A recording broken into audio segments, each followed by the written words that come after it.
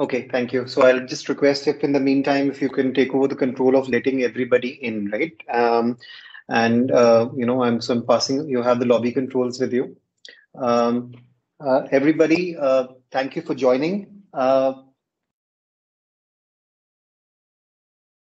I appreciate the time that you're giving me today. Uh, my name is Abhijit Anand. I, um, you know, and uh, I, I'm hoping I can make, uh, you know, make, uh, uh, you know, show some value to you in what we're about to present. Um, I'm, I'm, I have to say this uh, inter for compliance that the session is being recorded. The intention is that we'll publish it on, on YouTube.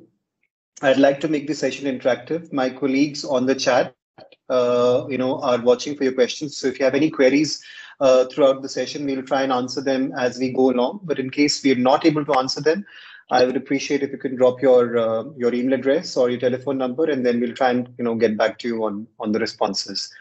Um, all right. Um, Shweta, in between, if you find that my voice starts giving problems or if uh, you find the screen stuck, if you can just call me and I'll I'll make the corrections, please. I'd I'd really appreciate that. Yeah, and I want to thank you for for for setting this up. Um, all right, everybody, I'll we'll get started. Um, so uh, yeah.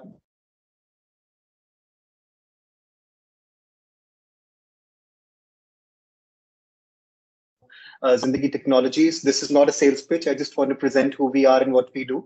I'll then talk very, very briefly about uh, uh, about Wi-Fi 6, a very high-level primer as to why what Wi-Fi 6 is and how it is differentiated from the previous generations of Wi-Fi. We'll then talk about Wi-Fi from an Indian perspective, right? From an India perspective, we'll try and understand that why Wi-Fi matters, right? And uh, we will then switch roles and talk about the role of Wi-Fi in education, uh, in schools, colleges, and universities, and remote education as well. Uh, what role does Wi-Fi play in education and overall? Uh, then we'll talk about this campus implementation that we uh, that we did for an organization uh, uh in India. It was a 47 acre, you know, smart campus, um, and uh, you know we basically threw the entire kitchen sink of technology for them. We've implemented cybersecurity, network access control, uh, video conferencing, video surveillance, and then Wi-Fi was a major chunk, right? Because they wanted to develop a smart campus for themselves. So we'd like to share the lessons that we learned and what best, best practices we incorporated when we were implementing uh, Wi-Fi for this customer. We'll then focus on how should you, in our opinion, without pontificating, we'd like to talk about how should you approach a Wi-Fi 6 implementation as a Wi-Fi, as a consultant for a customer. And then we'll talk about general best practices, which are applicable not just to Wi-Fi 6, but in general to Wi-Fi deployments. That's the way we've sorted it out. And as I said, we'll try and make it interactive. If you have any questions, just type, type them in the chat box. Our CTO, uh, Sana Khan, is there to, to answer questions uh, for you on the chat itself. Um, so, uh, all right. So, uh, everybody, uh, who am I? Uh, my name is Abhijit uh, Singh Anand. I'm the chief evangelist and uh, and uh, CEO uh, and founder of Zindagi Technologies. I started the company around five years ago. I still consider myself to be somewhat of a developer, an architect, and a consultant. I've had the honor to to work in one of the a few of the largest opportunities, you know, um, for this nation to develop national and state data centers, developing large-scale campus LAN and WAN solutions setting up uh, setting up command and control centers for uh, defense forces and smart cities, as well as work on multiple public and, and private cloud designs. Um, about Zindagi, um, we you know the, the three questions that we ask ourselves is our why, uh, our how, and our, our and our what. Uh, why do we exist? Uh, how do we do what we do, and and uh, what is it that we actually do? Um, our why, we believe that you know uh, you know, our job as, as IT consultants and professional services is to help uh, understand the customer's needs and wants and empathize with them and then use technology solutions uh, to create uh, you know to create value for our customers. Uh, how do we do it? We basically get in, get involved in the entire life cycle of the project. We build integrate optimize and manage superior innovative technology solutions We've got hundreds of certified engineers on board with years of experience uh, doing this. Uh, in terms of governance and process, we have a PMO, a project management office that ensures that we follow governance throughout the entire life cycle. And we are ISO 9001 um, and ISO 27001 certified. What do we offer? We specialize in consulting, uh, you know, small to medium-sized businesses and, and, and enterprises. Uh, what do we do? We provide managed services and professional services. We'd like to consider ourselves to, as somebody who who offers the full plate of managed services. But if I were to choose three, I would I would say that we have a good hold in cybersecurity, cloud and data analytics, and large-scale uh, campus design. Um, so uh, this is the last slide I promised where we're going to talk about ourselves. We'll then try and make the session as educational as possible. Um, a question that I'm often asked is that why do we call ourselves uh, Zindagi? Um, because Zindagi in, in, Hindi and Urdu means uh, means lives. Um, when we started the company, we were thinking of what to call ourselves, and then uh, we actually got inspiration from from Richard Branson's quote that a business is nothing else but an idea that will make other people's lives better. And I think technologies are, you know, I think the greatest enabler uh, for for helping improve people's lives. With that said, let's talk about one technology which is very close to my heart, which is Wi-Fi, uh, and why Wi-Fi plays such a critical role in uh, in improving lives. Um, now, uh, let's talk about Wi-Fi from an Indian perspective first, right? Um, over the past two years, primarily because of the pandemic, we've seen that Wi-Fi usage has gone up by 50%. Um, the economic value of Wi-Fi in the year 2021 is 132 billion uh, US dollars in 2021, and it's it's supposed to double by the year 2025. Now the question that arises: How do we how are we monetizing it? Uh, I was I had struggles converting 132 billion US dollars into into Indian rupees. That's a lot of money. So how do we how is how is it that we are monetizing uh, you know this much of currency only because of Wi-Fi? So a lot of us are using iPhones and Android phones, and we keep switching to Wi-Fi calling so that we get better coverage. 40% of the entire traffic of the country on 2G, 3G, 4G is getting offloaded to Wi-Fi. And had that not been here, we would not have been even getting signal bars and we would have been facing problems calling each other. BharatNet, the uh, the Indian um, uh, you know national fiber optic network, is a is a wire mesh that we spread all across the country. But to truly leverage BharatNet at you know the rural and isolated geographies, to bridge the di- the digital divide and to help uh, rural and low income communities to benefit from from the high capacity and the affordable connectivity that Wi-Fi offers, we have to make sure that Wi-Fi permeates all of these locations. Uh, so there's an initiative called PM-WANI, the Prime Minister's uh, Wi-Fi access network interface, which basically says that we have to provide one crore um, Wi-Fi hotspots across the entire country by the year 2022. And we are currently at 400,000. We have a long way to go, right? And more or less every aspect of our lives, we see that Wi-Fi is touching us, right? Be it workplaces where we see telepresence and productivity enhancements because of Wi-Fi, be it airports and airlines where vital operations are uh, are running on Wi-Fi. By the way, one of our prestigious customers was uh, was an airport in the eastern part of the country where we implemented Wi-Fi for them, and all their critical operations uh, of all the airlines were actually on Wi-Fi, so it was mission critical for them. Schools are, you know, dependent upon Wi-Fi for downloading online courseware and educational tools. Factories are tracking efficiencies and and revolutionize and revolutionizing manufacturing uh, because of uh, Wi-Fi. And any sort of next generation applications that we talk about, be it 4K video streaming, be it 8K video streaming, be it augmented reality, be it virtual reality, be it IoT, everything has got a bedrock of, of good solid, uh, you know, Wi-Fi. Um, now, with that Indian perspective that I've just shared with you, it's uh, important to understand that the role of Wi-Fi in education is to provide collaborative, immersive learning experience while improving the student life, student improving the student's learning, and improving the student's safety. We'll touch upon it. That how how is this accomplished? Uh, a statistic in front of you is that 46% of the entire world population currently is not connected to the internet. And a majority of them are school age children, right? So we have that huge digital divide that is yet to be covered uh, because uh, of Wi-Fi not permeating to all these school age children. And I believe that Wi-Fi 6, the latest you know generation of Wi-Fi, plays a critical role in in achieving that. All right.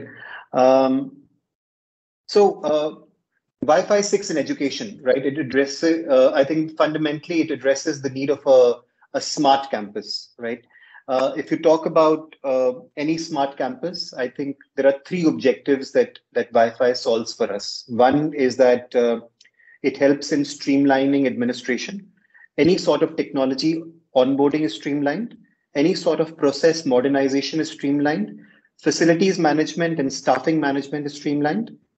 And at the same time, you end up enhancing education. You are providing the, the student an immersive learning experience using virtual reality and augmented reality. And we're not talking about something one year down the line. This is something that we have actually implemented uh, for our customer, right? Uh, we want to give the customer, we want to give the student an ability to do synchronous learning and asynchronous learning by giving them digital resource assets which they can access at any time. And the third one is, of course, the smart campus, which means that we provide students ubiquitous connectivity. We provide faculty and visitors ubiquitous connectivity while ensuring their safety and security. Um, now, uh, here is an interesting fact. Uh, on an average, for any given college or educational institutes, a student connecting up to seven Wi-Fi devices on the on the college Wi-Fi network, up to seven devices per student, right? And when you think of it, it comprises of their laptop, uh, their smartphone, tablet. They'll end up having some sort of a Kindle or an ebook reader. They'll have a PS3 or some sort of a gaming device. They might come with their, uh, you know, their Google Chromecast or some other kind of uh, streaming media device. They'll have their smartwatches. They'll have an Alexa Echo or a, or some sort of a voice control speaker, and then they'll come up with their Oculus, you know, AR or or VR headsets right? So uh, so not only the students but even the campus even the, the the facilities management is now switching to iot to improve student experiences which means that we require a wi-fi technology which can ensure greater capacity greater efficiency and higher performance for high speed network access so that all these critical functions are not affected and also the personal and entertainment devices of uh, of the users get streamless, uh, you know, uh, get a streamlined experience. All right, so here is an analogy where we're trying to compare a campus of a college, of a university or a school to a smart city. If you think of it, a college is almost like a smart city, right? Because they're typically maintaining their own facilities. They've got their building management, they've got their waste management, security management, recycling and the student population per se expects to be connected at all times right? Which means that we have to solve three critical problems for this for this smart city. Number one we want to make sure that the education outcomes are improved. If they want if some sort of uh, you know training requires augmented reality or virtual reality the network should not should not be a bottleneck.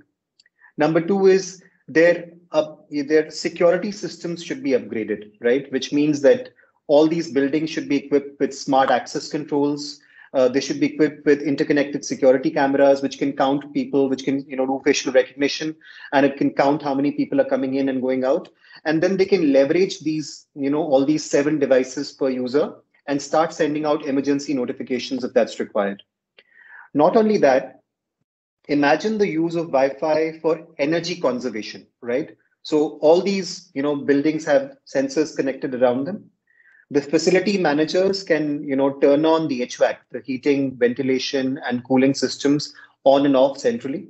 They can turn on the lighting in the building centrally which can result in uh, an efficient energy savings.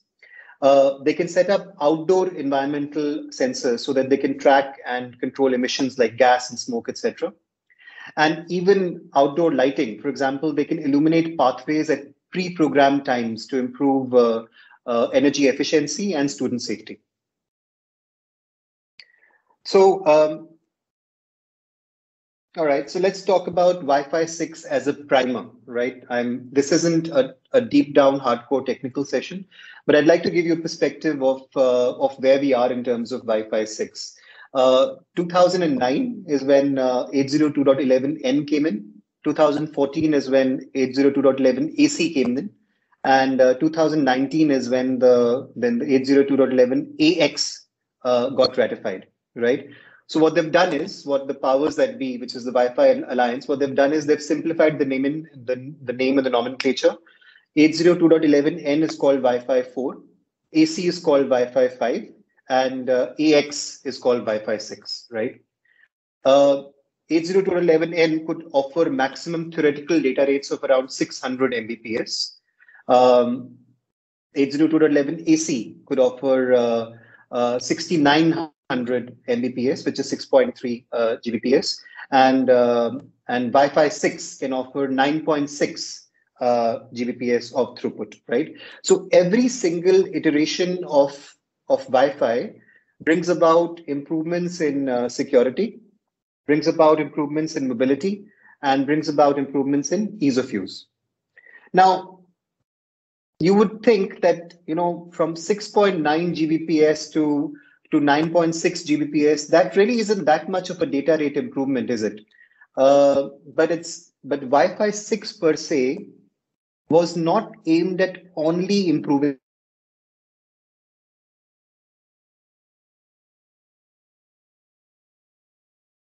ten percent.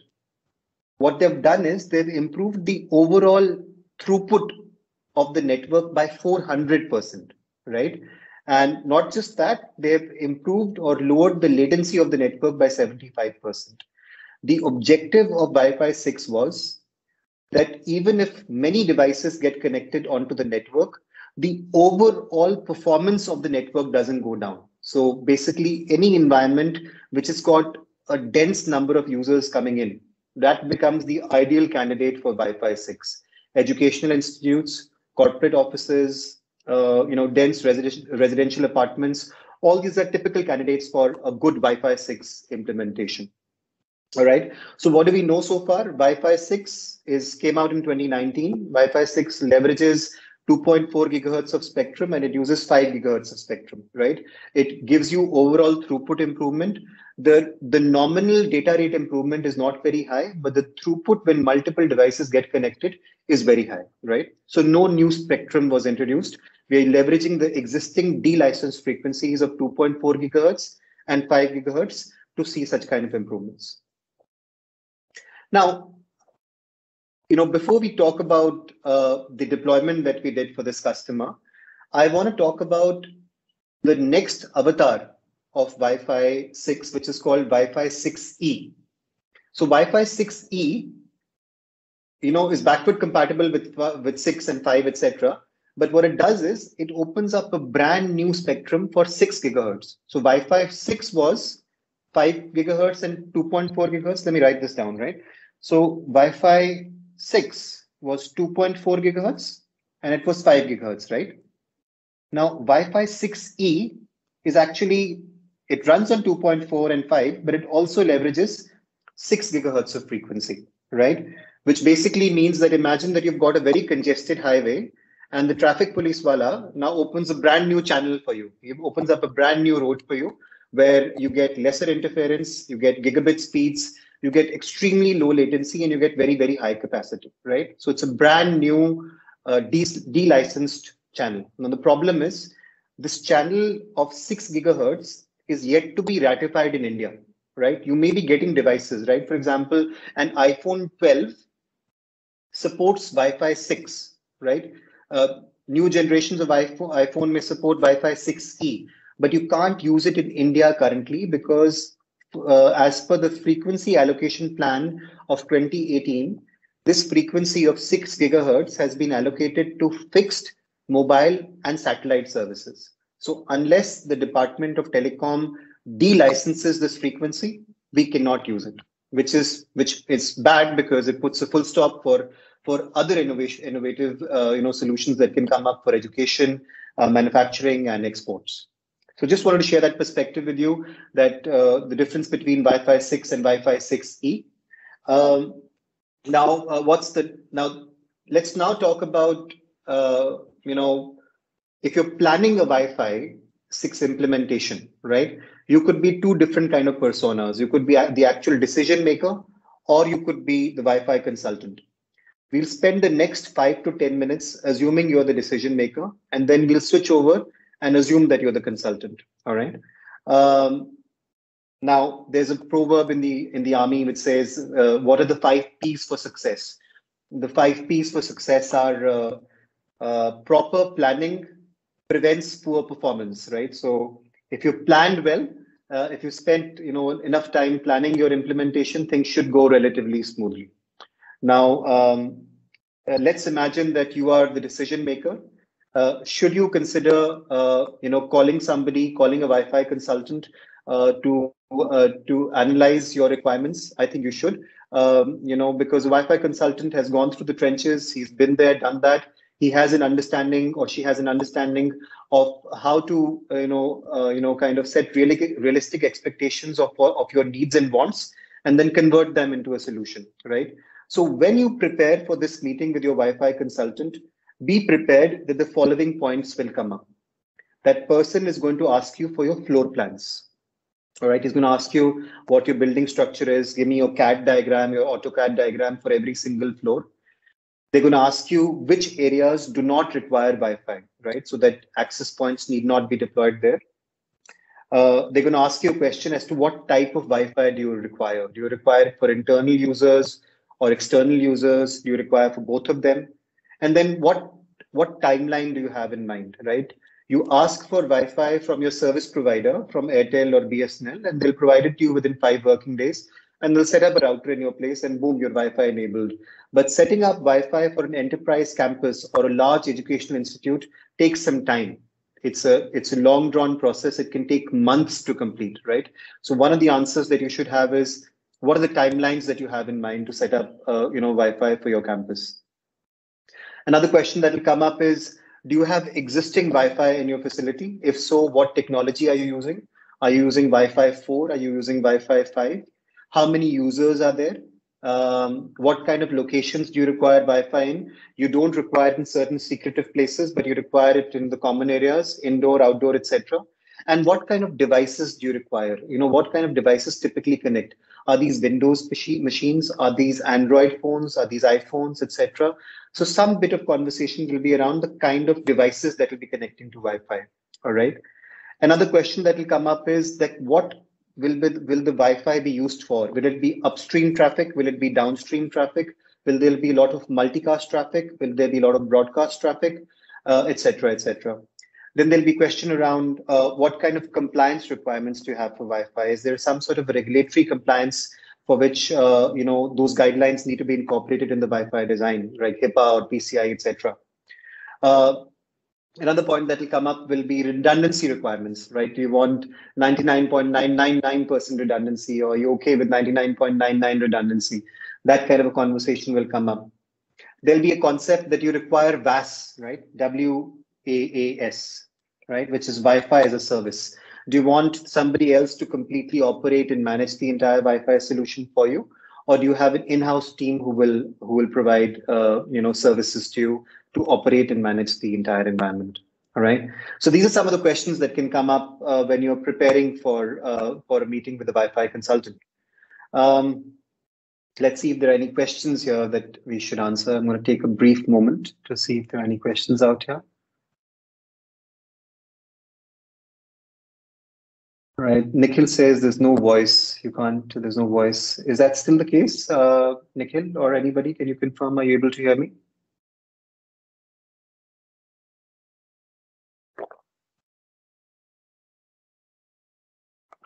Shweta, I'm getting a message that there's no voice. Can you please confirm? Okay, good. Loud and clear. Thank you. Thank you, Hikmat. Okay. Uh, all right, so I might be preaching to the choir here, right? Uh, what are the basic parts of a of a wireless network, right? What are the basic moving parts? You've got your access points, which we'll call as AP, right? That's the that's the actual device to which your your endpoints will be connecting, your phones and your tablets, etc., will be connecting to. Then there'll be a concept called a wireless LAN controller, right? This wireless LAN controller can be either hardware or software. It can be either on site in your campus or it can be in the cloud. The objective of the, the wireless LAN controller is basically management and, and control of all your APs. Imagine that if you have to change a setting and you've got 500 APs, you wouldn't want to log into 500 APs to make the change, right? So that's why you require a, wi- a wireless LAN controller uh, to make changes to you know hundreds and thousands of APs. The third thing that you'd require is network switches, right? These are the devices to which your APs get connected. And typically these switches are, are you know, sending out PoE, which is power over ethernet, which means that if you have an AP and if you've, got a switch, you don't want to run two wires to the to the AP. You don't want a power cable to the AP, and you don't want a data cable to the AP. You just want one wire that will be running the power also and the data also, right?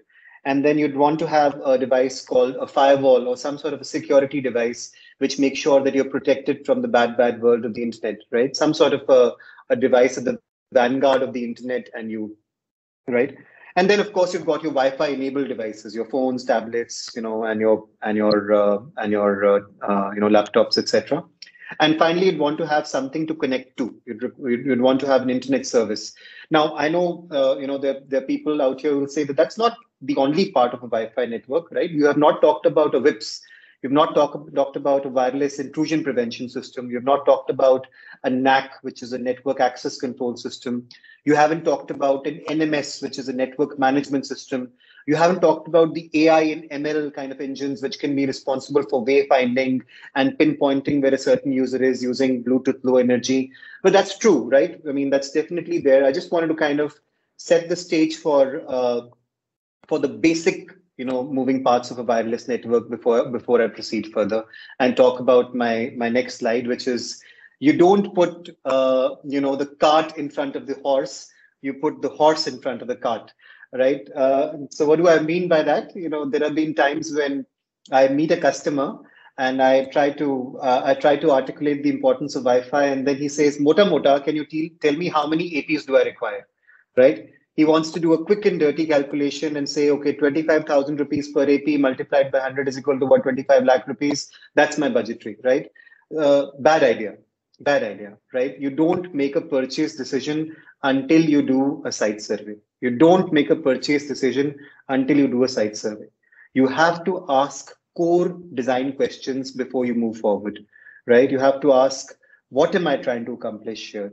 who's the who's the Wi-Fi for? Is it for the CIO? Is it for the CTO? Um, am I only providing guest access? Am I providing production access? Am I providing a captive portal wherein somebody has to log into a web page? Only then he'll be allowed inside.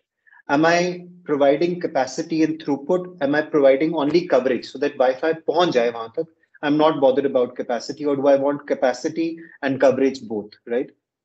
So until you have answers to these questions, do not jump the gun and make a purchase decision. We've seen multiple deployments uh, fail in the past, and you end up saving a lot of money and saving a lot of time if you do a site survey before you make a purchase decision. So you put the horse before the cart. All right.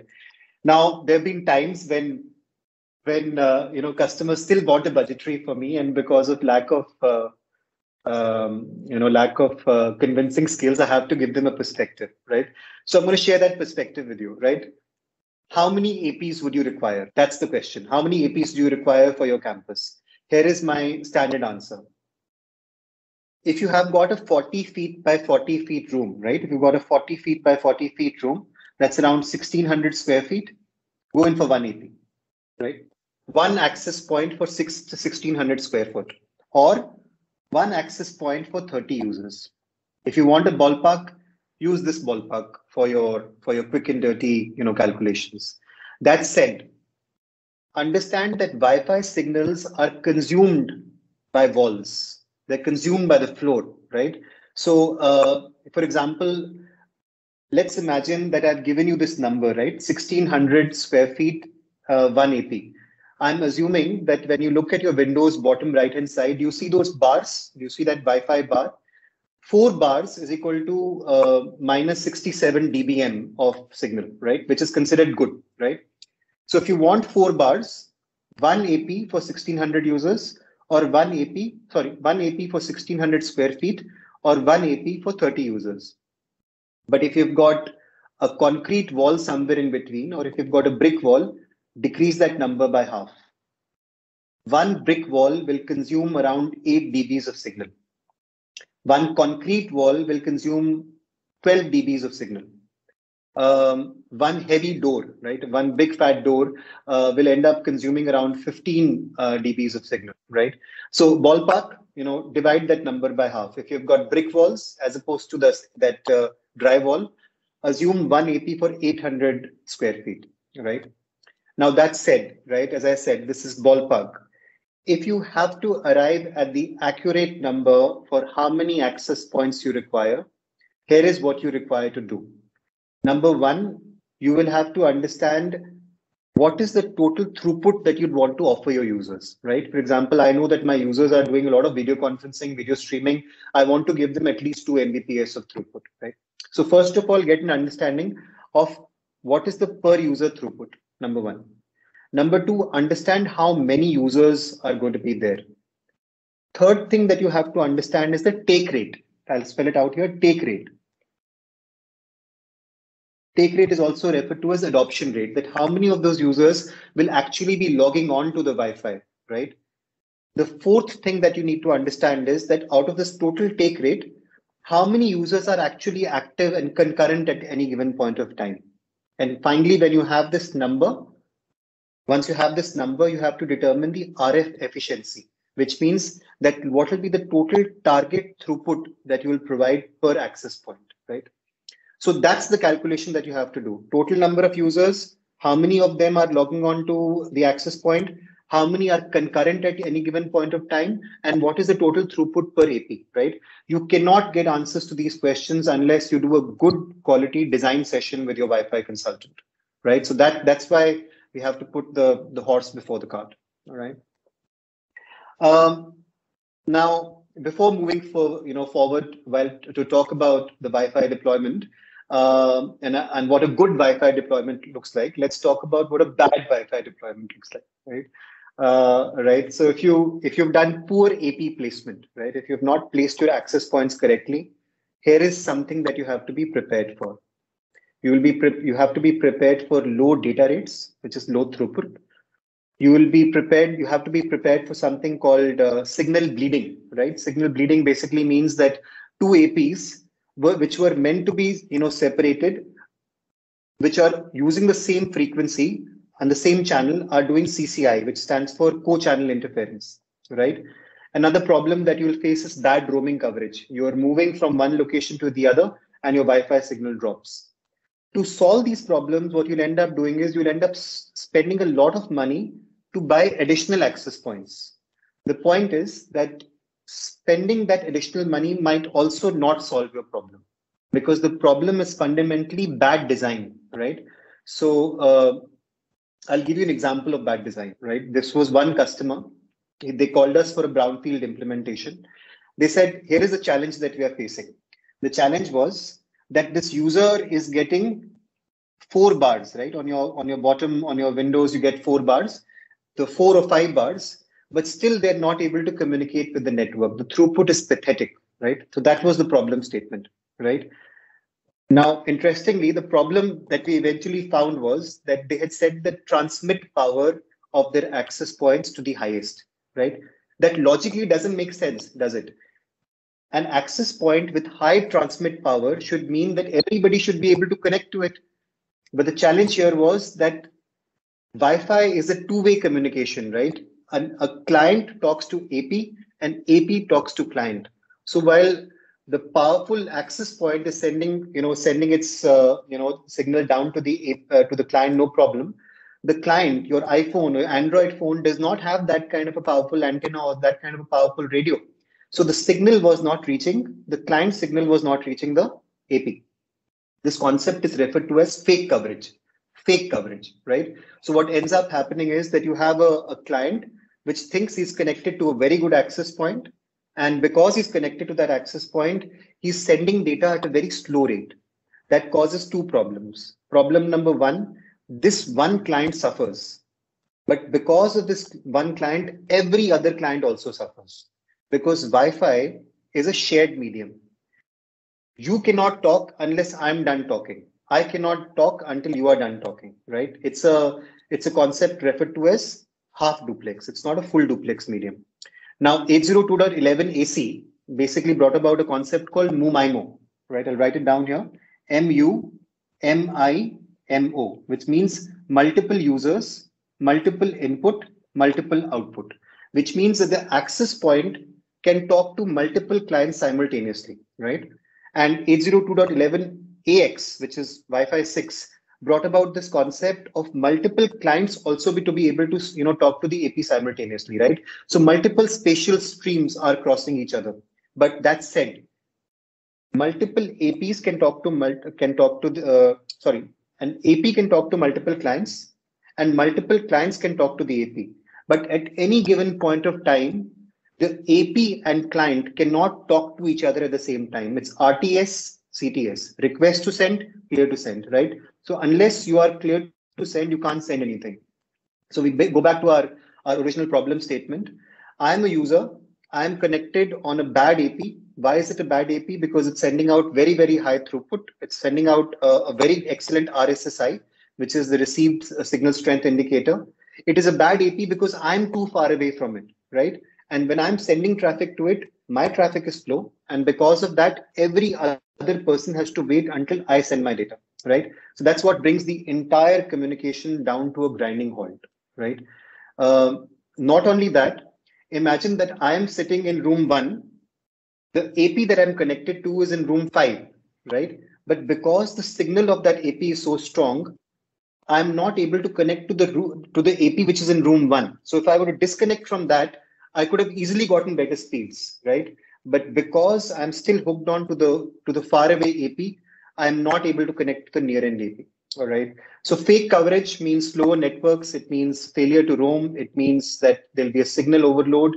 Everyone in the network is going to suffer, right?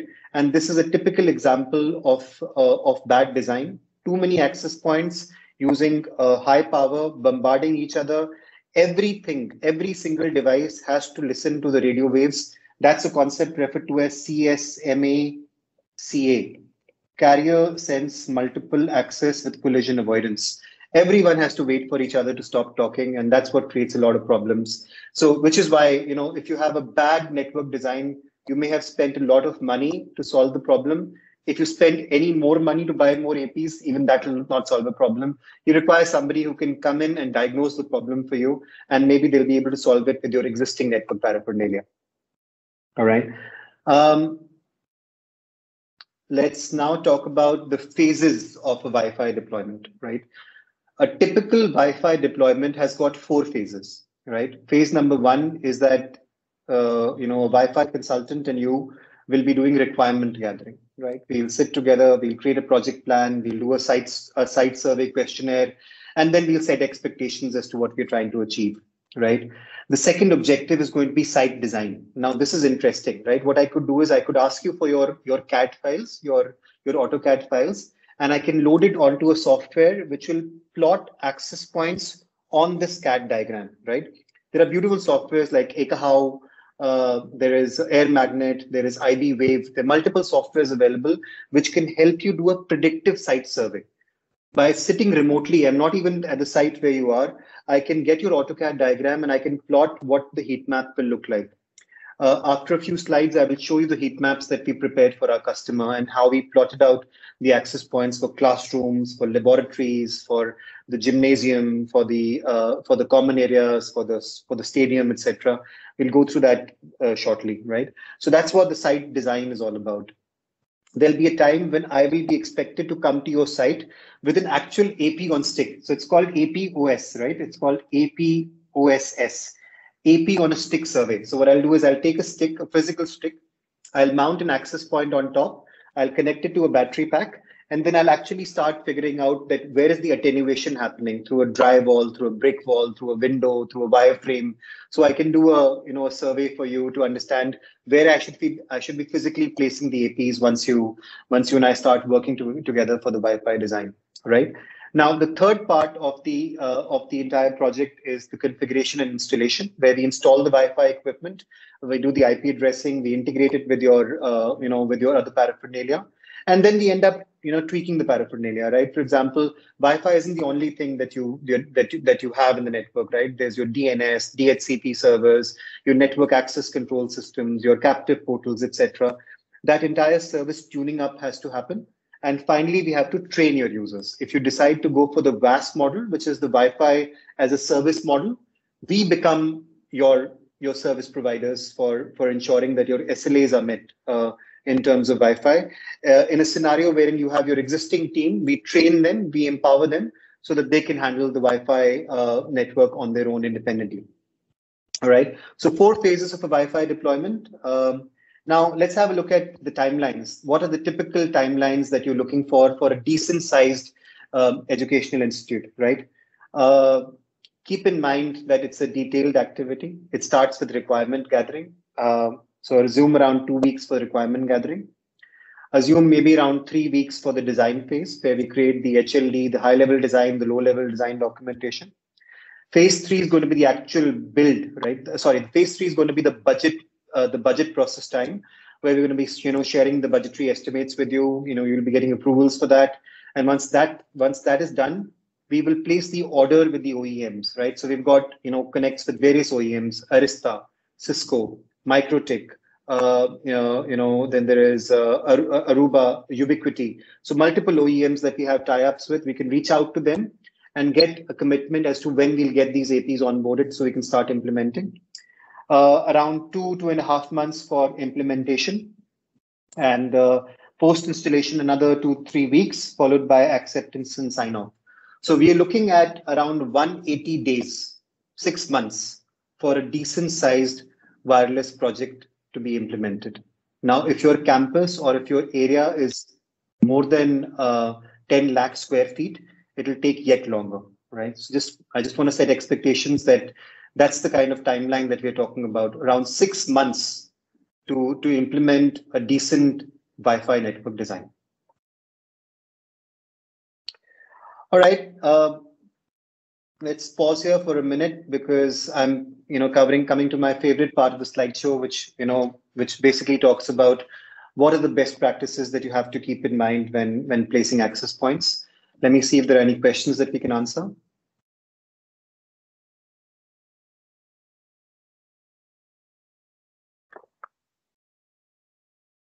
All right, no questions as of now.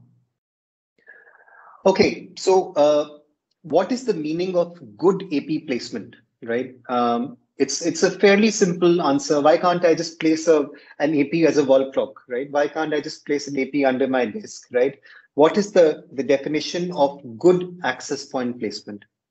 The definition of good access point placement means that once you've placed these access points, you will ensure adequate coverage for all your clients.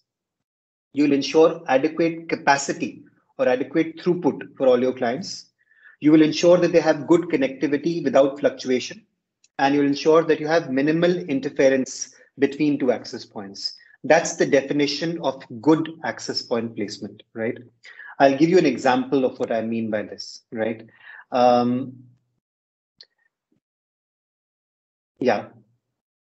So imagine that you have a you know a ceiling right? And in the ceiling, you've got these, uh, you know, gypsum tiles, right? Gypsum or asbestos tiles. And you end up placing an AP here, right below the, the asbestos tile, right? Is that a better design? Should you be actually placing the AP below the below the tile or on top of the tile? You know, logically, one would say that put it on top. What difference will it make, right? Um, because you'll end up avoiding a possible possibility of theft if you pay, you know, place it on top of the tile. Now, the problem is that if you place it on top, uh, your AP gets affected by other environmental factors. For example, ducting, power cables, other construction material. If you place it below the asbestos or the gypsum tile, you get a cleaner environment. You get a climate controlled environment, which means your access points last longer. If you were to do a, a test, right? If you were to place an AP below the asbestos, or if you were to place it above the asbestos, what you'll find is that if you place it below, invariably you'll get better download speeds, better upload speeds, better ping responses, and lower jitter. All right. Um, another thumb rule that you have to remember is that place the APs as close to the users as possible, right? you'll find a lot of deployments wherein you're actually placing APs uh, uh, in the hallways, right? Uh, there have been times when we have also done this. The customer has categorically told us, you place it in the hallways, give me yellow wala signal in the in the rooms. I'm fine. Yellow wala signal is that you give me decent coverage there, but uh, I don't want the chance of vandalization. Somebody inside the room can you know take out the AP and run away with it, right? So it's more efficient to place the signal as close to the device who's going to access the signal. All right. Um, in a cubicle area, like in a large office, you know, use a concept referred to as a honeycomb design, right? Use a concept referred to as a honeycomb design, right? So place it like this, right? Um, create a honeycomb, right? And make sure that this AP and this AP and this AP are not on the same channel, right? This concept of honeycomb design basically ensures that there's no CCI or no co-channel interference. Now, important point. Let's imagine that you've got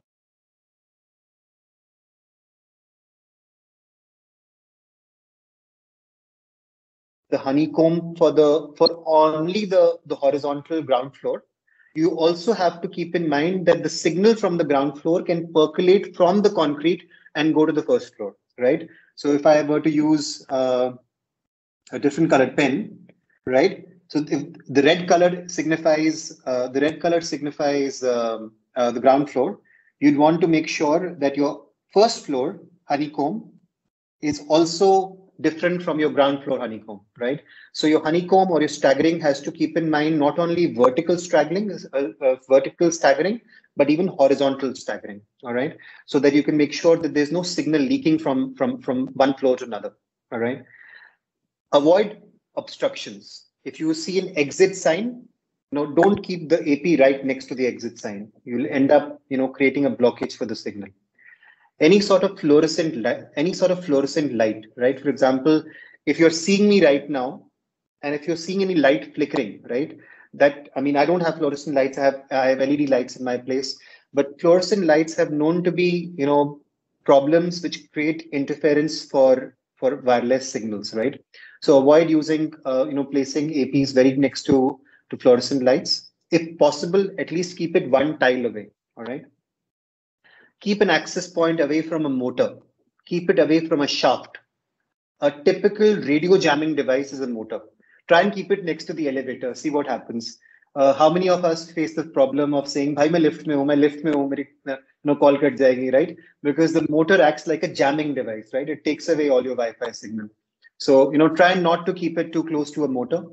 Uh, try not to keep it in a in a uh, in a metal casing there is a concept referred to as a Faraday cage effect. So, in a Faraday cage effect, if you create it around, if you place an AP around a wire mesh, uh, the wire mesh will take away all the signals. It will not be able to come out, right? So, avoid doing that. Uh, avoid keeping uh, access points at waist level because then they become a typical candidate for uh, for uh, you know uh, vandalism uh, you know, A loves B, whatever, you know, somebody will start scribbling things on it, or it'll end up becoming, uh, you know, a, a, you know, a candidate for theft, right? There was this customer down south who had a very peculiar requirement that they wanted uh, their access points to be in gold color. So because the entire building decor was gold, right? So I mean, aesthetic, you know, considerations play a role, right, uh, as to what your uh, what your AP should look like, right? So um, another point to keep in mind is that don't try to keep your access points too close to the outside walls. Because if you do that, you're creating two problems. One, your access points are bleeding signal outside. That's inefficient because they should be bleeding signal inside. Second problem is that now people outside have a potential vector to come inside, right? That you know, unknown threat vectors can potentially use that access point signal to try and penetrate your network, right? So good wireless design requires to make sure that your APs are not mounted too close to the outside walls, right? Um, plan for higher users, right? If you have a large meeting room, more APs, right? You know that eventually this will be this room will have a lot of people, so plan for more APs in that meeting room, all right? Roaming, plan for roaming if roaming is a requirement, right? Um, if roaming is a requirement, then good implement roaming. keep at least a 15%, one five, 15% overlap. So if you create a Venn diagram of the signals between AP1 and AP2, at least keep a 15% overlap between them, but ensure that they're not talking on the same channel.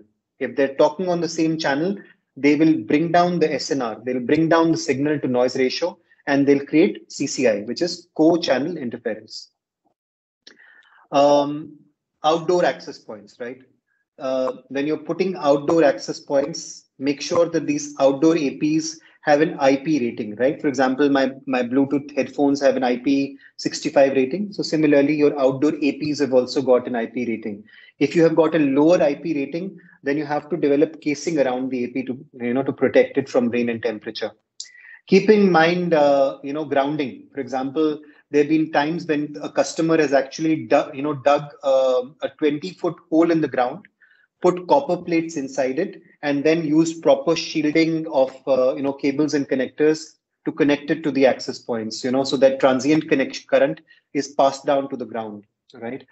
Quality of power is important. If there's a diesel generator powering the AP, and if it's sending out bad sine waves, your access point connection to your end user will suffer. All right. Uh, are your APs getting powered on using solar power? Do they have that solar power panels on top? If yes, you may want to invest in a battery backup just in case if the juice dies out. All right. Um, another concept that we talk about is a concept referred to as a drip loop. Drip loop, right? Imagine, uh, you know, that a cable wala at your house is connecting a cable and it's, you know, right at the wall. You would have seen that he creates this kind of a loop, right? This loop is called a drip loop, which means that if rainwater or if any sort of water comes trickling down this entire water, uh, uh, you know, on this wire, it drips here before it enters your electrical paraphernalia, right? So a lot of times we've seen that you've got a very straight cable, there's no drip loop, and the wire uh, and the data, uh, um, the, the water enters inside the ruggedized uh, SFP over time and then spoils it, right? So these are some of the things that you have to keep in mind when uh, when doing good AP placement, both from an indoor perspective as well as from an outdoor perspective. All right. Um, 70% of a Wi-Fi consultant's time, in my opinion, should go into the site survey, right? If I'm your Wi-Fi consultant, once the Wi-Fi survey is complete, I should be able to answer the following questions. I should know how many clients are there, how many clients are there who will connect to me today, and how many will connect to me in the future. I should be able to answer what is the exact right access point that you're going to choose, right? I will give you options. If you want a cheaper access point, I could make a recommendation. If you want a, uh, uh, if you want, uh, you know, longer lasting access point, I could give you options. But I'd want to know exactly which access point we're going to implement I should be able to tell you exactly how many number of access points I'm going to implement. I should be able to pinpoint where I will be placing my APs. I should know what the configuration of the APs would be from a transmit power perspective, from an SSID perspective, from a channel perspective, from a channel width perspective. I should know how many switches I'm going to implement, which will be terminating these APs. I should know what kind of cables I'm going to use between the AP and the switch. I should know the number of cables which are going to connect the switch in the AP. And I should also know what kind of a Vanguard device or router or firewall I'll be using to connect all these APs to the internet, right? To do this, in order to do this, I have to establish a baseline, right? As a consultant, I'll be speaking to you and asking you questions and setting a baseline that what will be your top network users? What will be your peak time? At what time are you expecting the maximum traffic? What will be the total traffic per node? Broadcast traffic, unicast traffic, and multicast traffic. How much of your traffic is going from WAN to LAN or LAN to WAN? And how much of it is LAN to LAN, right? Are you doing more uploads? Are you doing more downloads, right? I will need to get a baseline for that so that I can measure my performance once I've implemented your Wi-Fi network I will use this baseline to measure whether I was able to successfully achieve the requirement of the site survey or not, right? So that's the objective of a site survey. Solidify requirements, set expectations, and know what to look out for when you do the validation of the entire Wi-Fi network, all right? Um, Tailor Master is going to, you know, if you ask him, you know, what is the concept of a good design? Uh, measure twice, cut once, right? You, uh, you know, as a as a Wi-Fi consultant, if I ask you for a CAD diagram, and if you give me a CAD diagram, um, and it has got a, a dry wall in it, I'm going to factor for a dry wall. I know that my Wi-Fi signal will, will attenuate by 3 dBs, right? But eventually, if it ends up being a brick wall, my Wi-Fi signal will attenuate 8 dBs, right? So garbage in, garbage out. If that diagram is incorrect, my topology will be incorrect. If that diagram is incorrect, your Wi-Fi design will be bad. So typically, when we do a Wi-Fi survey, we don't only do a predictive survey, we follow it up with an active survey on your site, right? We come there to your site and do a proper survey to make sure that we measure twice and then cut only once, right? The next thing is that we plan for the future. We plan that what will be your future projects going to be like, what kind of new applications you'll come that will come on board, what kind of traffic flows will come on board, so that we, you know, we not only focus on the current max capacity, we focus on the projected max capacity. All right.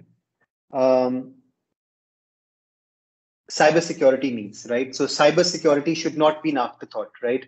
We want to make sure that if you if this is a guest Wi-Fi, if he's visiting websites which can create problems for you later, we want to disable those websites at our content filtering device. We don't want to allow a guest to access websites which can create problems for you in the future, right?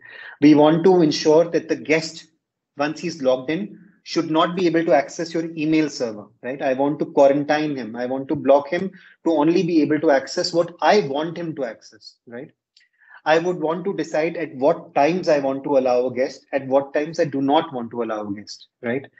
Even for a production VLAN, even for a production uh, you know access i want to be able to determine what one department will be able to access and what one department will not be able to access right? So these are the kind of conversations that are thrashed out at the stage of a site survey right? Cybersecurity coverage and capacity. Now this is a, a relatively simple question to answer for some um, when you design a wireless network you are asked a question, right? Uh, do you want coverage or do you want capacity? Coverage means that my Wi-Fi should be available everywhere, and capacity means that it should be very efficient. If multiple users are are huddled around a corner, they should get good capacity, right?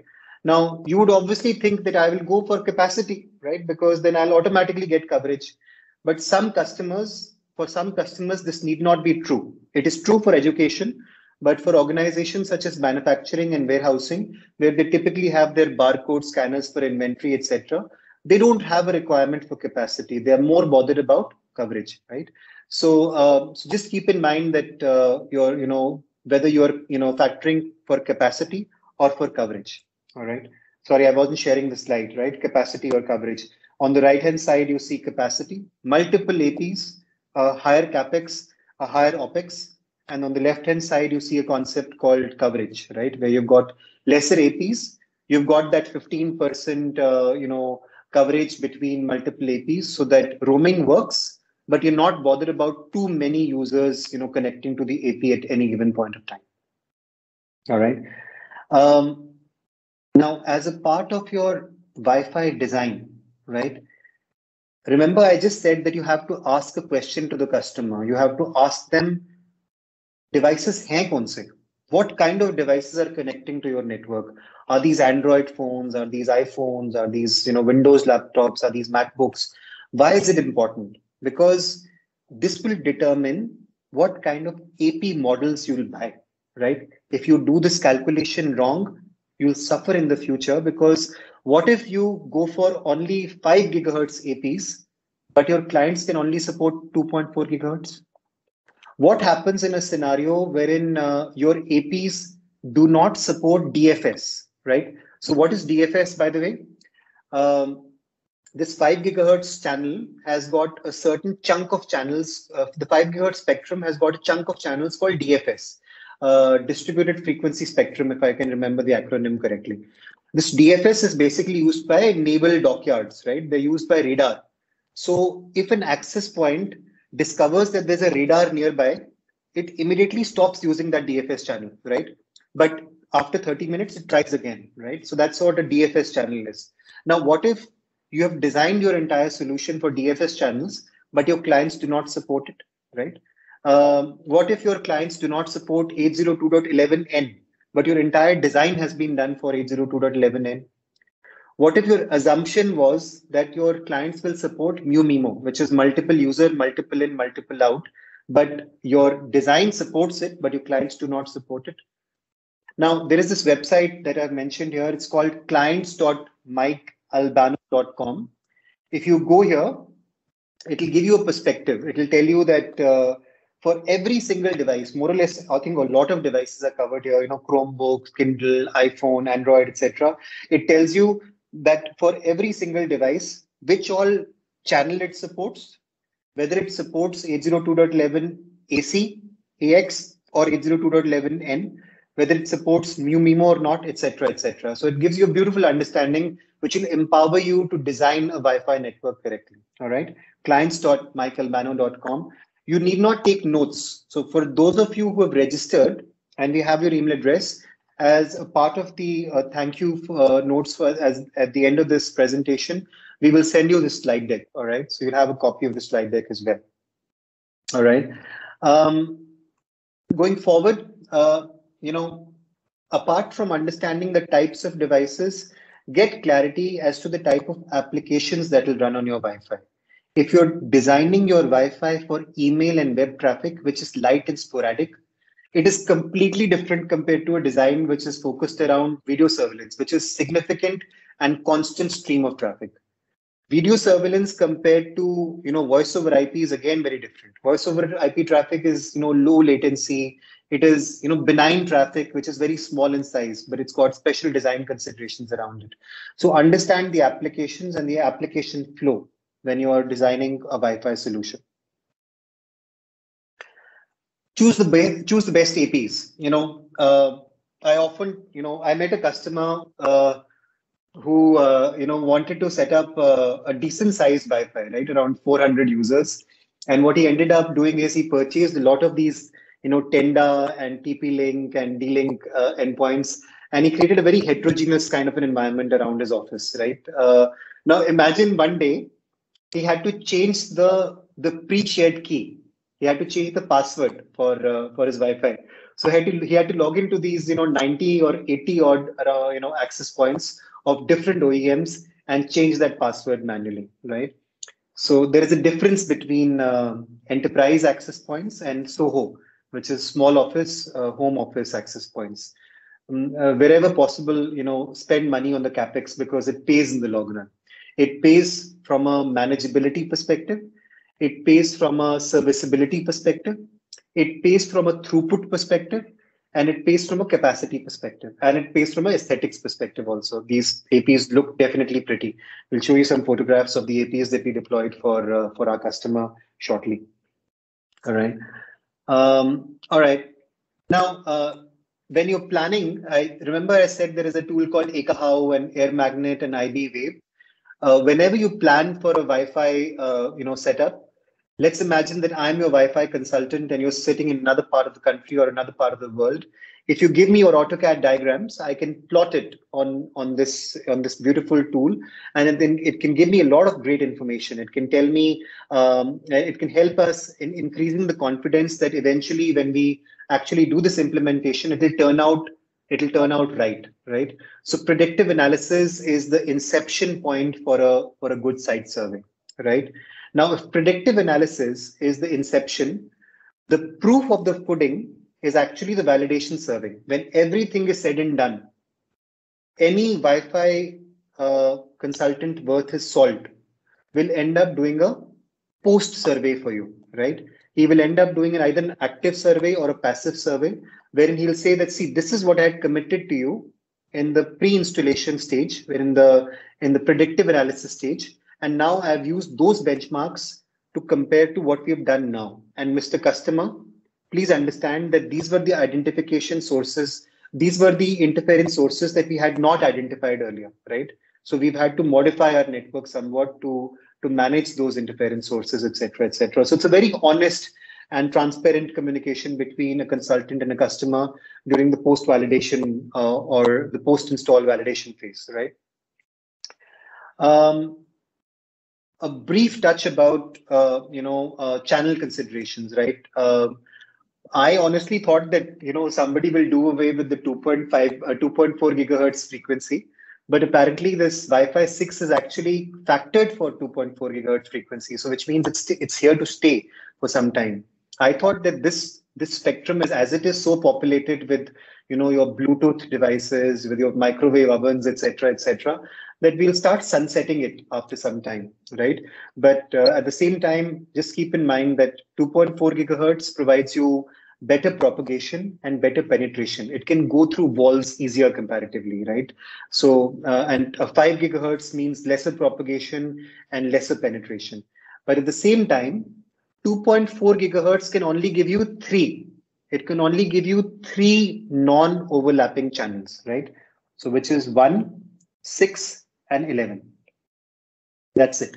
So when you're creating your honeycomb and there are three APs around you, you have to make sure that they are they are all on these three different non-overlapping channels, right?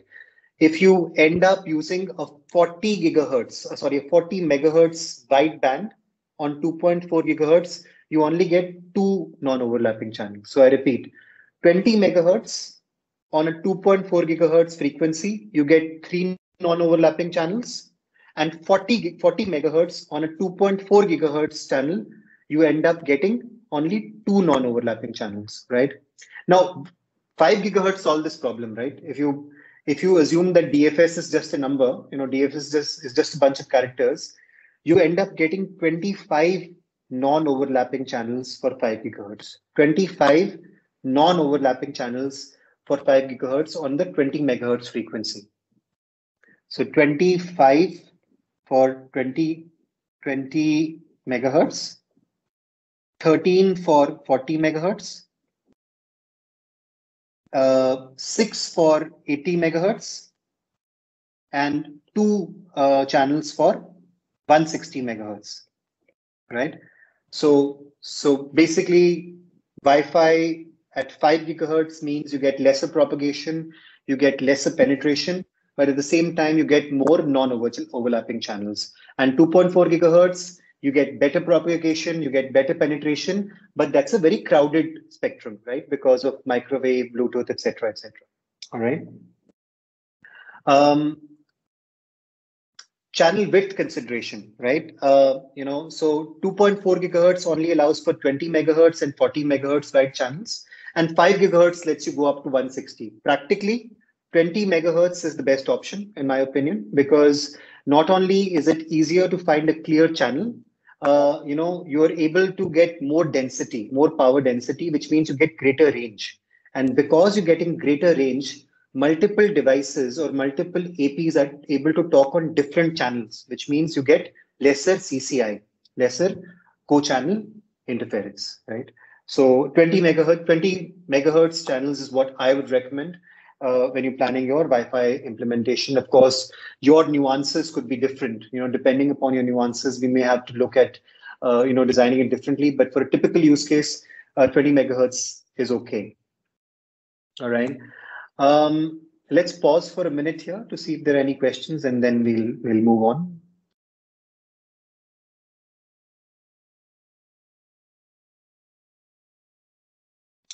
All right, I can see that uh, you know, there are a few questions from uh, from Ritu, from Rajesh, and yeah, thank you, thank you, Sana, for answering them.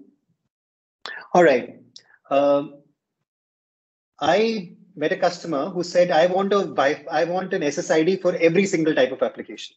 Printers के लिए अलग दे दो, you know, scanners के लिए अलग कर दो, uh, building management system के लिए अलग कर दो, and different for voice, different for video, right?"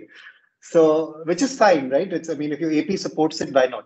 But here is what you need to keep in mind, right?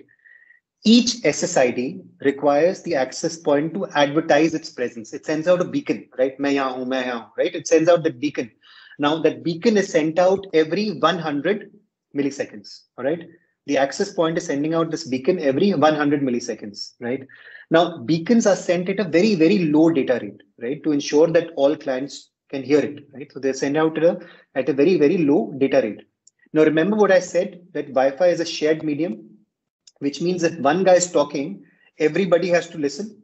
So when beacons are sent out at low data rates, when a beacon is being sent out, nobody can talk, right?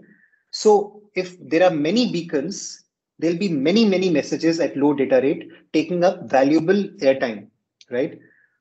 As a rule of thumb, don't go beyond four SSIDs or don't go beyond, beyond four Wi-Fi's per AP, right? If you do that, uh, even four SSIDs will mean that you are reducing the effective airtime usable for data by more than 50%, right?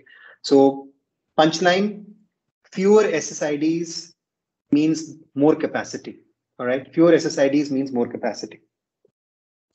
We now talk about the customer, right? Let's talk about the customer for whom we did, did, did this implementation. This customer had uh, a requirement of setting up a 47 acre smart campus, right, with a focus on uh, e-learning and educational tools, right? The customer had a requirement of uh, using immersive technologies like augmented reality and virtual reality to impart education, right? What kind of education? So they were basically into, you know, the hydro, you know, the hydrocarbon sector, you know, basically providing vocational training around petrochemicals, plastics, general, you know, engineering, green energy, you know, sustainable energy, um, you know, information technology, language labs, etc., etc. So it was, you know, primarily focused on uh, vocational training. It's an NGO. It's a non, you know, not-for-profit, uh, you know, organization, right? And they had thousands of students coming in and getting all this learning right? And what was beautiful about uh, this customer is that they had a placement cell for helping these uh, these uh, students get placed into various organizations. But they also had a startup incubation center. So as to you know uh, promote entrepreneurship on for everybody who studies with them. So that's what the customer is right? They, they had a vision of setting up this uh, 47 acre smart campus right? Um, fairly straightforward requirement. They wanted uh, a staff SSID. So for all the staff and faculty, they wanted .1x authentication with Active Directory, right? And then they had a guest SSID. The guest SSID basically had that captive portal, right? You enter your tele- your your email address, your your details here, and somebody's going to approve your access, right? So unless somebody approves, we'll not let you in, right? And once even if you're approved, you're quarantined to access only certain things, right? So that was the second requirement. The third one was they wanted a student SSID. So a student SSID also gets uh, you know authenticated using .1x and uh, and Active Directory credentials. And they had a very interesting requirement. They said that student SSID for the academic block where the children are studying should be different compared to the student SSID in hostel. So that certain social media access or certain certain social media websites can be blocked so that you know children can focus on studies when they're in the academic block, right? So um, Right. So that was the basic requirement from a wireless perspective. And at least from phase one, this phase one perspective, they did not want to incorporate their IoT and their building management systems and their printers and scanners and CCTV. They didn't want to latch them onto the to the wireless network, right? Uh, here is the institute, right? So, I mean, on the top, you see a picture of, of them taken during the daytime, and the bottom, you see a picture of them taken during nighttime. Beautiful facility um, that they had um, what equipment did we finally choose after doing a site survey? So we uh, once we did a predictive survey for this customer, here is the equipment that we finally zeroed down to, right? Around 400 access points, right? Around 400 access points were implemented. And we literally threw the entire kitchen sink of technology to them. So there was not just Wi-Fi, there was you know video surveillance and those video surveillance had those cameras which can count the number of people who are going from location x to location y. So these, these are smart cameras that we implemented for them and we implemented latest routers and uh, you know next generation firewalls for them as well as uh, network access control. Who you are when you're logging in how you're logging in determines what you can do right? So that's what network access control is and we also set up, you know, video conferencing uh, for this customer. But the conversation that you and I are having right now on this session is about uh, is about wireless LAN. So we'll talk about the wireless LAN equipment that we used. Uh, we implement so all the indoor access points were were actually the the 9115 uh, AXI, right? The, do you see this AX here? AX. AX stands for uh, 802.11 AX, which is Wi-Fi 6, right? And this I signifies that it's an indoor access point, right? So indoor access point uh, with in with sorry sorry I'm sorry this I stands for internal antennas, right? So uh, 9115 AX with internal antennas, um, uh, which had a Bluetooth enabled. Now, interesting question, right? Why would you require Bluetooth on an AP? Why would you require Bluetooth on an AP, right? Because your Wi-Fi is different in AP and Bluetooth is different. So nowadays, these new APs they come with a concept called uh, Bluetooth Low Energy, which apart from providing Wi-Fi services to to the end users, they're also used for location tracking, right? They can use you can be used they can be used for wayfinding, right? So that's one of the features of a of a smart campus, right? Um, along with that, they had 4x by 4x multi-user MIMO, which means that an AP could talk to four clients at the same time, and four clients can also talk back to the AP at, at any given point of time, along with beamforming. So what is beamforming? Beamforming basically means that the AP will focus its uh, spatial stream. It's going to send out that beam to that area where the actual number or the density of users is higher, right? It's a beautiful concept. The name sounds like uh, you know something from Star Trek, but it, that's what it does basically, right? It sends out a beam uh, to where the user is, right? And these devices support PoE plus, which is uh, um, you know a higher form of uh, power over Ethernet. Then the other AP that we implemented for them, do you see this this here? These uh, you know these points here. These are uh, a place where you you know put in a TP uh, BNC uh, plug where you connect your external antennas, right? So uh, so this was you know for special situations where we required external antennas to also be connected um, to the um, uh, to the to the access point. So 89115 AXE, right? And then uh, these are the access points that we connected outside in the stadium, right? I'm, just, I'm just going to show you photographs of the stadium and uh, the outdoor areas. So this was the AP that we used there, the the the 1562i, and there's a typo here. This is the 1562e, right? It's a ruggedized access point, right? So it's uh, it's safe from the elements. This is not a Wi-Fi 6 uh, radio. It is a Wi-Fi 5 radio, right? It's a 802.11 AC Wave 2 radio, right? So just wanted to highlight that two kinds of antennas were implemented. One was uh, a dual band uh, dipole antenna, um, and the other one was an IP54 rated uh, dual band uh, 6 dBi directional antenna, right? And then uh, for certain places, we ended up implementing an omnidirectional antenna, uh, which provided 4 dBis of gain for 2.4 gigahertz and 7 dBis of gain for, for 5 gigahertz. So this is the building. Uh, this is one of the buildings that we implemented for. This entire area is your uh, is your academic block, where we implemented, uh, um, you know, on the ground floor we implemented 24 access points, and the first floor we implemented 18 access points. Right. So if you look at it, this is what the Ekahau survey looked like. Right. We we understood that there are multiple laboratories here. Right. Do you see these laboratories? Right. So they will. We wanted to make sure that these laboratories have got Wi-Fi access we determined that we don't require Wi-Fi coverage here at the staircase. That was not provided.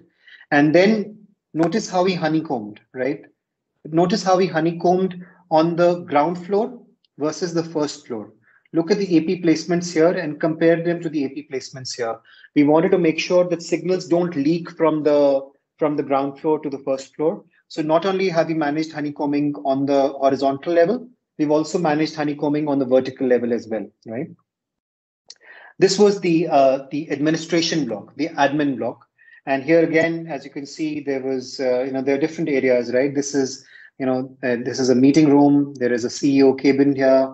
This is a wide corridor. And, you know, so green means green means good, yellow means okay, and red means bad, right? So we've tried to make sure that we're covering the customer from a green perspective in the conference room and in the meeting room and in the reception waiting area, et cetera, et cetera, right? So that's the admin block. Then uh, they had this beautiful sports complex. Do you see this? It's uh, it was fascinating to see that you know this organization is not only focusing on uh, um, on education but also co-curricular activities, right? So they have this entire sports complex. They did not want Wi-Fi here; they wanted Wi-Fi here, right? This is where the people sit, right? So what we ended up doing is we took our uh, uh, 1562 uh, access points and we ended up placing them here to get Wi-Fi coverage to where the people are sitting, right?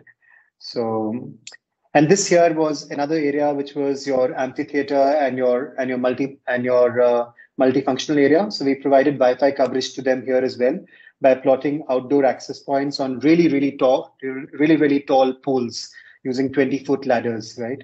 Um, this here is the recreation block. In the recreation block, they wanted coverage for the entire gymnasium, right? So this is the gymnasium, the locker room, um, the, the the ladies' gym, the men's gym, and uh, this here is the is the is the billiards area, the table tennis area, and the corridor, right? The carom and chess room, etc. So we had to provide Wi-Fi coverage here as well. So again, we used Ekahau and we plotted this on the map and we were able to determine which APs are going to give us what kind of coverage. And what was critical for us here is that we got to know what kind of walls these are, right? These are dry walls, right? So we were able to know that these dry walls will be able to penetrate the signal and we will not have to implement an access point here, right? Because it's going to get coverage from here and it's going to get coverage from here, right? So that is why getting a good, accurate AutoCAD diagram matters, right? So you can do this plotting and, and predictive analysis correctly. This here was the workshop, right? So we basically plotted around nine uh, access points all across this workshop uh, for, uh, you know, for vocational learning and covered multiple areas of the workshop. And this here is the female hostel, um, right? Uh, here is uh, something that I'd like to show you, right? Have a look here. Now in the female hostel, in fact, let me show this to you in the boys hostel. I'll be able to explain it better there, right? Have a look sorry. Yeah. So this is the male student hostel, right? Observe, observe this. Observe the the blue colored marker, right? Observe the blue colored marker. And uh, one second. And observe the red colored marker here, right? You notice what we're doing here? We've taken access points and we have plotted which frequency this access point is working on, right? The first, the, the red colored marker indicates the number six, which means at 2.4 gigahertz, I'm operating on channel number six, which means that any AP around me cannot be on channel number six. It has to be either on channel number one or channel number 11, right? So that's what you see. This is six, this is one, this is 11, this is one, this is 6, this is 1, this is 11, this is 6, right? So that's how we have segregated it, right? We've made sure that all these access points have their uh, 2.4 gigahertz enabled. We've enabled their 5 gigahertz also. And there also we've ensured non-DFS channels all across 165, 157, 48, 64, 161, 56. This is how you prevent CCI, this is how you prevent co-channel interference, which is the number one detriment for a good Wi-Fi design. Anywhere, wherever there's signal bleeding, anywhere, wherever two different APs are talking on the same uh, channel, this problem of co-channel interference is going to come up. All right. Um, yeah, and this is again the guest house, right? We wanted they wanted uh, coverage in the lawn area. They wanted coverage in the lawn area, and then they wanted coverage in uh, on in different kind of rooms, right? And this is an exception, right? Remember when I said that you should not place access points in the hallways, right? This is an exception. The customer wanted an access point to be placed in a hallway, right? And uh, you know this is where we had to comply, right? So wherever possible, we tried to you know put the APs in dormitories, but wherever we had a requirement of uh, the environment asked for it or the customer asked for it, or if the uh, yeah the environment of the customer asked for it, we had to place it in the hallways, right? Um, yeah, so this is the dormitory, right? So in the dormitory, we've got, you know, our guest rooms, we've got our bedrooms, right? Again, we've placed APs here in the hallways, as you can see, to provide better coverage, all right?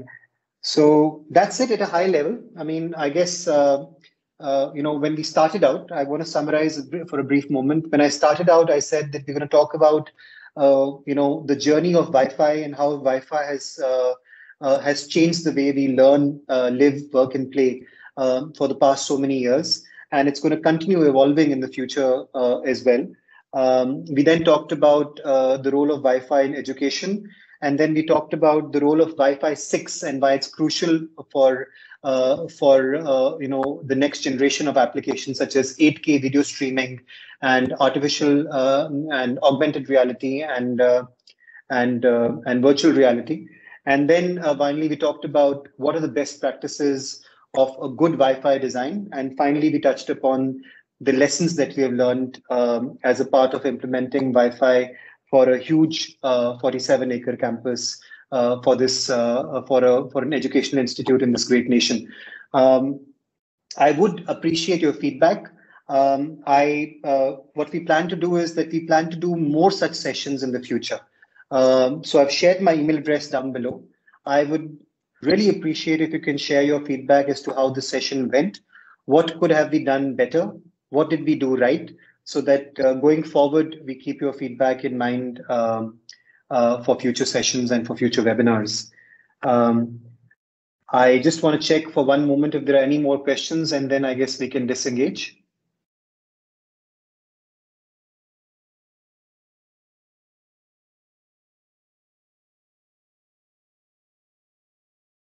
Great. I think this has been a very, very interactive uh, session. I can see a lot of questions floating around here. I appreciate everyone uh, for your time and, and I, I wish you a good evening and a good weekend ahead. Thank you for your time, everyone. Thank you, everyone.